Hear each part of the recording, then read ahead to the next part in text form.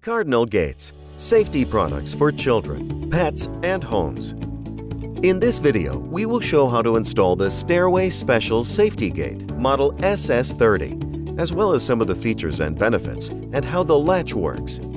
For assembly assistance, please call 1-800-318-3380. The following tools are required for installation. A Phillips screwdriver, a pencil, a tape measure or a ruler, a drill with a 1 8 diameter drill bit for the pilot holes, and finally, a wrench. Parts list. Part A, hinge bracket, quantity 1. Part B, hinge rod, quantity 1. Part C, Phillips screw, quantity 4. Part D, two bolts with two serrated washers. Part E, two eye bolts with two nuts and washers. Part F, two plastic shoulder washers. Part G, 1 8-inch Allen wrench, quantity 1. Part H, latch bracket, quantity 1. Part I, key ring, quantity 1. Part J, four long screws for drywall. Part K, latch, quantity 1. Part L, set screw, quantity 2. Part M, optional one-way stop bracket. And finally, the gate. Step 1. Mounting the hinge bracket. For this step, you will require the following parts. A screwdriver, a pencil, a tape measure or a ruler, a drill with a 1 8 diameter drill bit for the pilot holes, Part A, one hinge bracket, and finally, Part C, two Phillips screws. Begin the assembly by using a tape measure or a ruler to measure 6.5 inches above the surface of the floor where you wish to install the gate. Use a pencil to mark the location.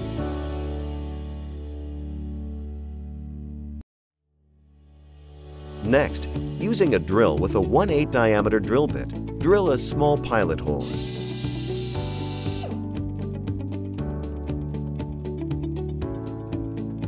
Proceed by placing the hinge bracket Part A vertically up against the wall. Make sure the bottom hole on the bracket matches the drilled hole location. Bracket must be flat and perpendicular to the ground. Insert Phillips screw Part C in the bottom drilled hole if you are installing the gate in wood. If you are installing a drywall, Part J long screws may be used to attach the gate through drywall and into the stud. Based on your installation, special anchors for the wall might be needed. Tighten the screw using the screwdriver. Careful not to over-tighten the screw.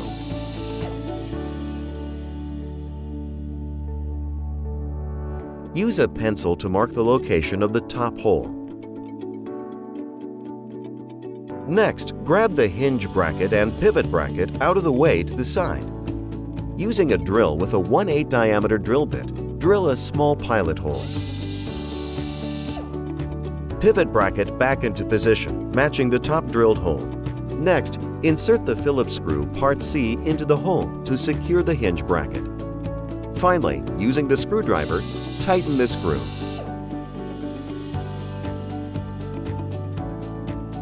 Step 1 is now complete. Step 2 eye bolt installation.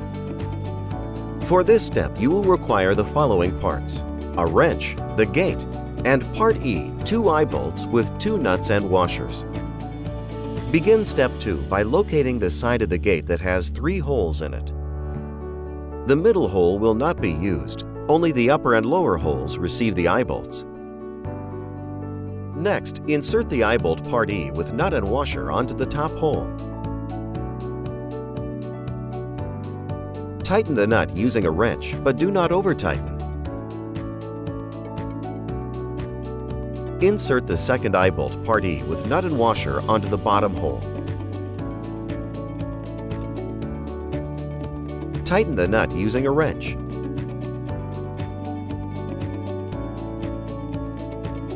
Step 2 is now complete. Step 3. Securing the gate with hinge rod. For this step, you will require the following parts.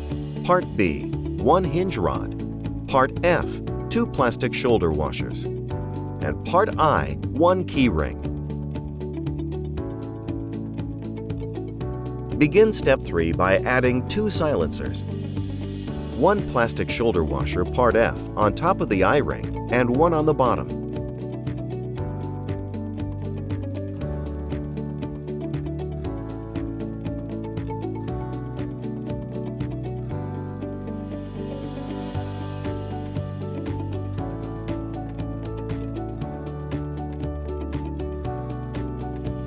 Pick up the gate and set the gate onto the hinge bracket, matching the holes on the hinge bracket.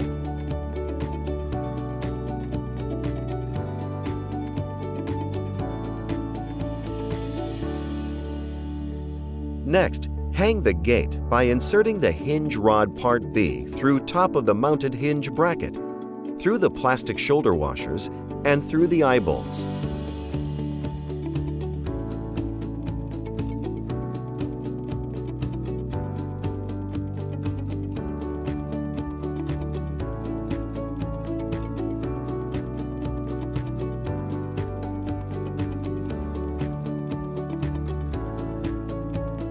To secure the hinge, insert the keyring part I through the hinge rod.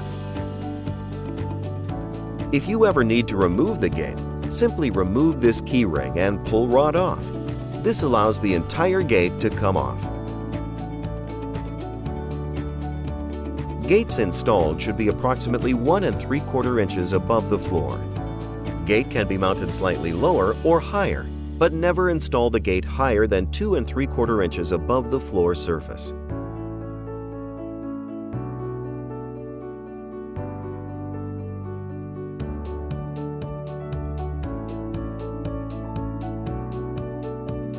Step 3 is now complete. Step 4. Mount latch assembly. For this step, you will require the following parts. A screwdriver, a pencil, a drill with a 1 8 diameter drill bit for the pilot holes. Part C, two Phillips screws. Part D, two bolts with serrated washers. Part H, one latch bracket. Part K, the latch assembly. And finally, Part M, an optional one-way stop bracket. Begin by mounting the latch assembly Part K onto the gate. Make sure the latch is placed on top and the bottom pin is placed down. Next, secure the latch by using two bolts with serrated washers, Part D.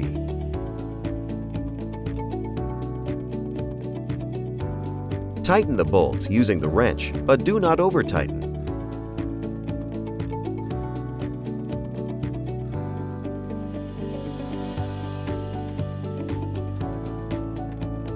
Attach the latch bracket Part H onto the latch assembly Part K as shown.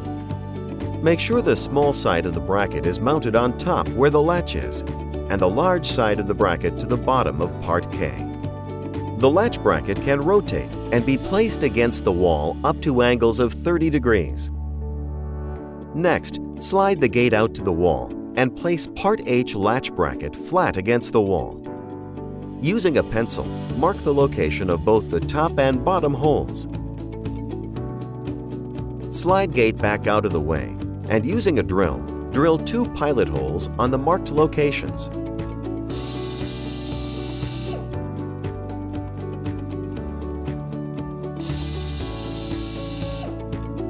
Unmount the latch bracket Part H and place the back of the bracket flush against the wall, matching the drilled holes. If you are installing the gate in wood, insert part C Phillips screw, tighten the screws using the screwdriver.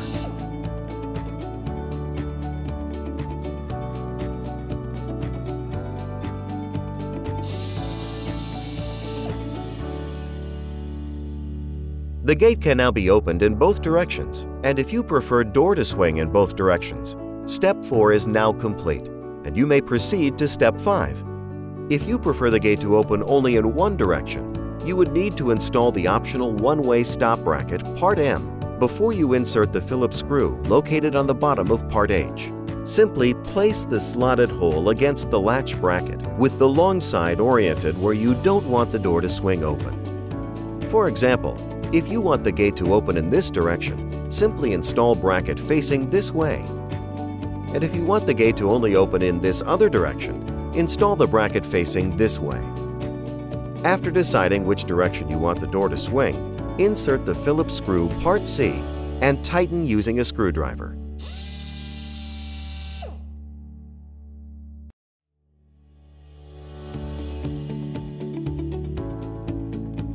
This concludes Step 4. Step 5. Setting the width of the gate. For this step, you will require the following parts. Part G, Allen wrench, and Part L, two set screws. Begin by sliding the gate into position. The gate must be closed and latched. Next, insert one set screw Part L in the upper bracket of the gate. To set the width of the gate, tighten the set screw using the Allen wrench Part G. Repeat this step for the lower bracket.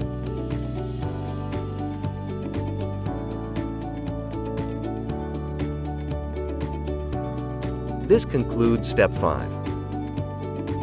Congratulations! You have now completed the installation of the Stairway Specials Safety Gate, Model SS30. Gate Operation how to open and close the gate. Opening the gate is very unique. Pulling the gate up alone will not open the gate because of the flip latch's lock into position. To open the gate, use your forefinger and thumb to simultaneously depress the two flip latches. With your remaining fingers, lift the gate and swing open. To close the gate, grasp the gate in the middle and lift the gate up a little to drop the big pin back into place. There is no need to flip the latch brackets when closing. The latch will reset itself automatically. The gate is now closed. This concludes the operation of the Stairway Special Safety Gate, Model SS30. Enjoy your new gate. Cardinal Gates, safety products for children, pets, and homes. If it's a Cardinal, it's the best.